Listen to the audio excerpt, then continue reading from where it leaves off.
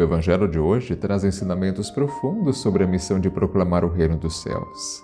E nesse trecho que iremos acompanhar e também participar, Jesus compartilha orientações sobre como levar a mensagem do amor divino ao mundo. E ao explorarmos essas lições, nós também somos desafiados a compreender o significado do Reino dos Céus em nossas vidas e aplicar esses ensinamentos em nosso cotidiano. Este Evangelho então nos inspire a ser discípulos missionários, mas corajosos, autênticos, sempre radiando a luz de Cristo e transformando o mundo ao nosso redor. Agora, antes de mais nada, seja muito bem-vindo, seja muito bem-vinda ao nosso encontro diário aqui pelo canal Eviva. Desejo a você e também a toda a sua família um ótimo dia. E o Evangelho de hoje, desta quinta-feira, dia 13 de julho de 2023, é o Evangelho de Mateus, o capítulo é o 10, versículos do 7 ao 15. Naquele tempo, disse Jesus aos seus discípulos: Em vosso caminho anunciai, o reino dos céus está próximo. Curai os doentes, ressuscitai os mortos, purificai os leprosos, expulsai os demônios. De graça recebestes, de graça deveis dar. Não leveis ouro, nem prata, nem dinheiro nos vossos cintos, nem sacola para o caminho, nem duas túnicas, nem sandálias, nem bastão, porque o operário tem direito ao seu sustento. Em qualquer cidade ou povoado onde entrardes, informai-vos para saber quem ali seja digno. Hospedai-vos com ele até a vossa partida. Ao entrardes numa casa, saudai-a. Se a casa for digna, desça sobre ela vossa paz. Se ela não for digna, volte para vós a vossa paz. Se alguém não vos receber nem escutar vossa palavra, saia daquela casa ou daquela cidade e sacude a poeira dos vossos pés. Em verdade vos digo, as cidades de Sodoma e Gomorra serão tratadas com menos dureza do que aquela cidade no dia do juízo. Palavra da salvação. Glória a vós, Senhor.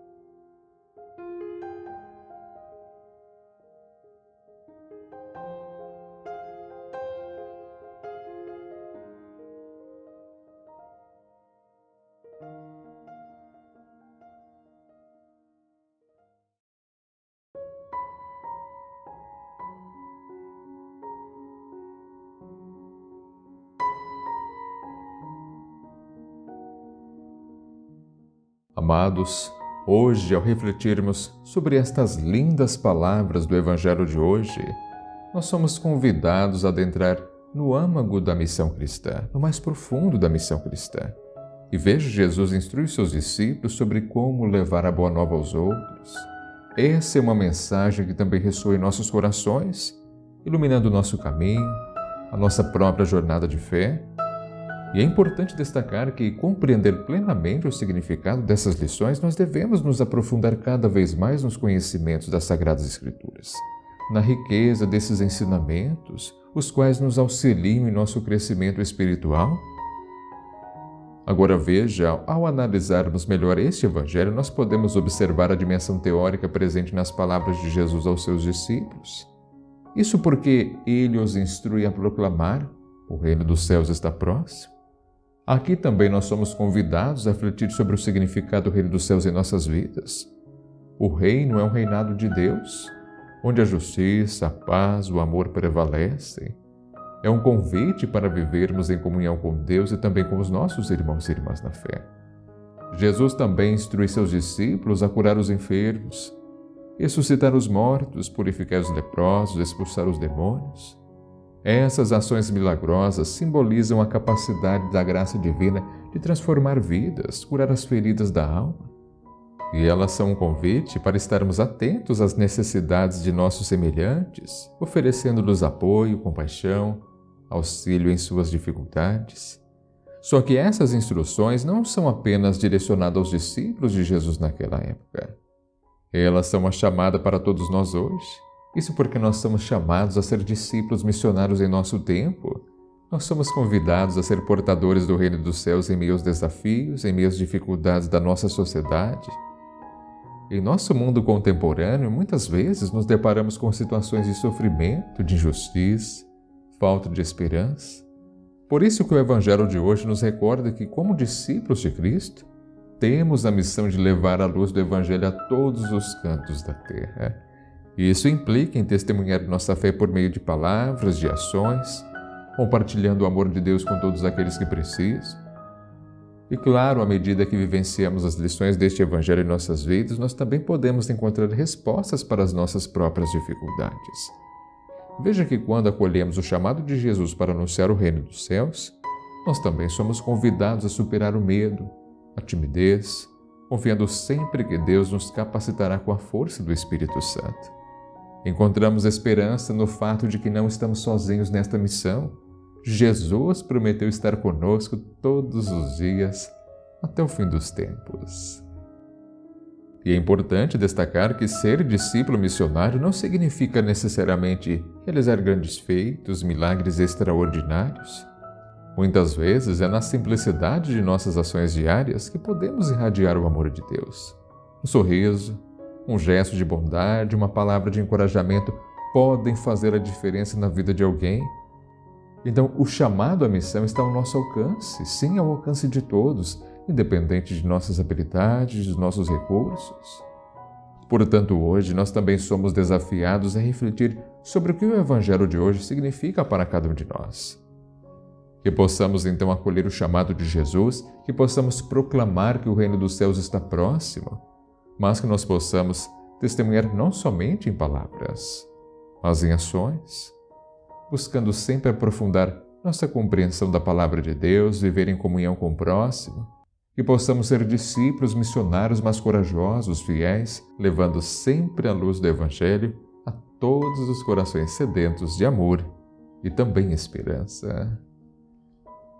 Assim, meu querido, minha querida, com todas as lições deste lindo e deste importantíssimo Evangelho de hoje, que possamos aplicar essas lições no dia a dia, na nossa vida. Sei que muitos se perguntam como é possível, como podemos transformar as palavras de Jesus em ações concretas que reflitam o reino dos céus em nosso mundo. Como colocar em prática esses ensinamentos?